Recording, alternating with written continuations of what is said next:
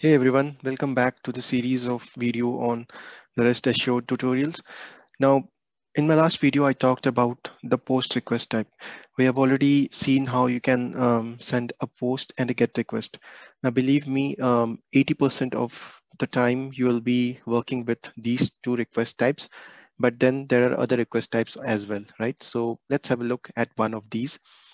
So I'm going to talk about the delete request type this time.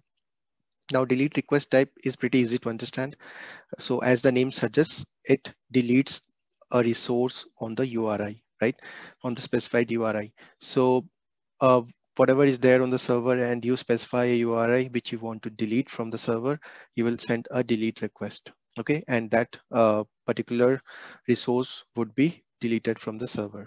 Okay, so I'm going to use uh, the same uh, REST API, which is hosted on my local to demonstrate this particular example, right? So this is our posts, as you can see, local host, and this our REST API, right? So I want to delete this last post, which has been posted on this uh, server, right? So which is which has got a ID three, and uh, which has got title this, okay? Now, how but how we can reach this particular API.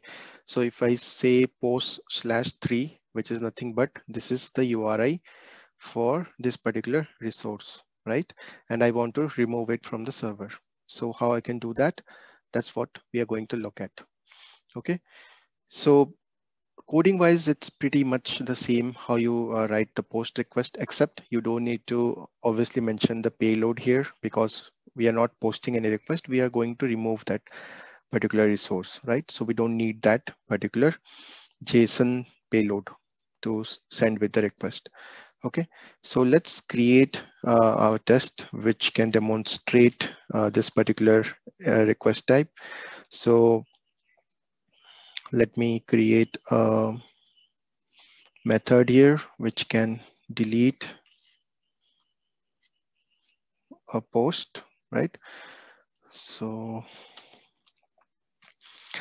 again, uh, as I said, um, the format would be pretty much the same. So we will say given, and then we'll say, um, we can say content type, but I think it's not particularly necessary, but you can mention still that what is a content type, it is a JSON, right? And then um, we don't need the body. So in this, we will uh, specify the request type, which is delete, okay? And here uh, we would require the URI. Uh, it will be a little different. It should point uh, to the URI where we want to perform this operation. So I'm going to specify it as three. And then um, we can mention the rest of the validations if you want to put any validation here. So I'm going to put uh, status code is kind of 200, right? And then um, I also want to see the body, what, what is the body which is being returned. So, so this is a very simple uh, test which you can perform or using your delete API request, right? So you can delete the request and then you can just verify whether uh, the status code is successful and the body is empty, right? So since you are removing it from the server, there would be no response in the body, which is being returned by the server, okay? It will return an empty body. Okay, so let's go ahead and run this particular test now.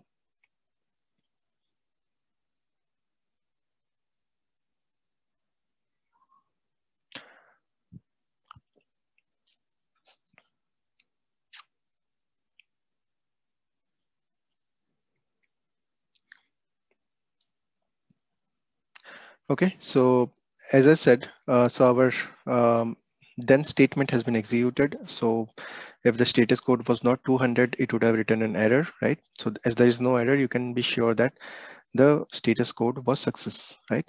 And also our body is empty. So that means our um, resource was deleted successfully. But if you want to verify it um, from the URL also, you can do it, right? So go here and maybe I'll go to the post and you will see there are just two posts here, right? The third one was deleted. So that's how you can perform a delete request um, using the REST assured, right, um, on your API, on your REST API. So it's very simple, but uh, sometimes it's useful when you want to remove something from the server from your REST API, right? So that's all for this video. I hope you like it. Uh, if you have any questions or feedback, please leave it in the comment section. And keep watching. Uh, for more videos on our channel. And we'll be posting regularly um, some new some something new um, on on different automation tools. So keep watching and see you in the next video